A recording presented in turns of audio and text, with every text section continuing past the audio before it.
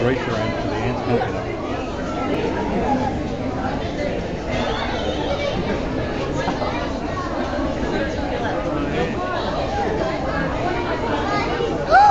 touch me, touch me!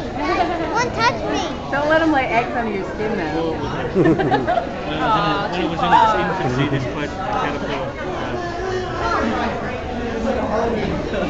yeah, it's much cleaner now. This one's rubbish happens if they lay eggs on? Your father was telling Dylan that. Uh, what happens?